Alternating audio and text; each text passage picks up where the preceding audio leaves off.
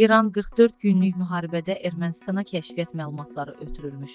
Bunu siyasi şərhçi Asif Nərimanlı deyib. Onun dediyinə görə, Xudafərin körpüsü yaxınlığında 70-80 nəfərə yaxın İranlı hərbiçi radioelektron mübarizə sistemləri vasitəsilə Azərbaycanın pilotsuz döyüş və kəşfiyyat təyyarələrinin, pilotlu aviasiyasının və vertolyotlarının hava trafikini bölgədə döyüş aparan Azərbaycan əskərlərinin rasiya tezliklərini izləyib. Əldə edilən məlumatlar Ermənistanın baş qərargahına ötürülüb. Azərbaycan ordusunun birləşmələrinin rasiya əlaqəsinə özünün radioelektron mübarizə vasitələri ilə müdaxilə edərək bölmələr arasında rabitə əlaqəsini əngəlləməyə çalışıb. Türkiyənin məşhur müğənnisi Sərdar Ortacın ölüm xəbəri yayılıb. Sosial mediada yayılan Sərdar Ortac öldü xəbərləri hər kəsi təəccübləndirib.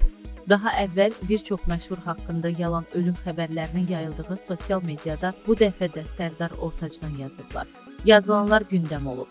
Sənət dünyasında kədərli gün. Sərdar Ortac ürək tutmasından vəfat edib.